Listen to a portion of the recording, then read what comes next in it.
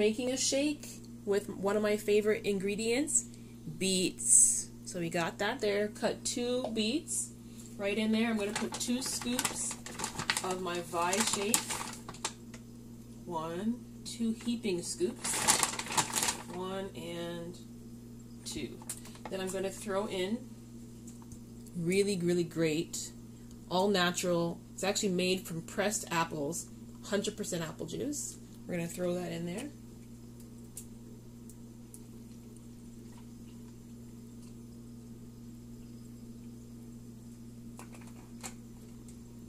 So it's unsweetened. So I feel okay about putting it all the way in. You can add some almond milk if you'd like, or add some water if you don't like it so sweet, because the shake tastes like cake. So it's already really, really yummy. That's all. And we blend it up.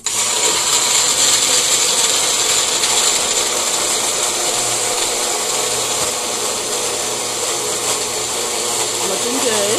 Looking really good. A lot of health benefits to beets.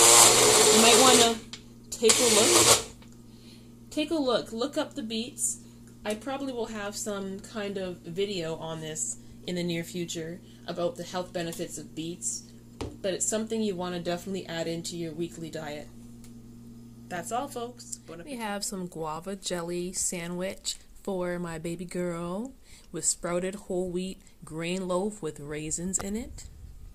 Thought this was kind of cool. It says Ezekiel 4 9 and it speaks and says, As described in the Holy Scriptures, take also unto thee wheat and barley and beans and lentils and millet and spelt, and put them together in one vessel, and make bread of it.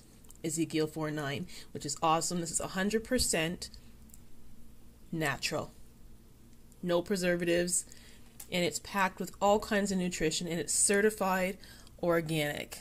So we're about to have that with a yummy, yummy Vi shake. And I'm going to have my hominy grits and eggs. Mmm.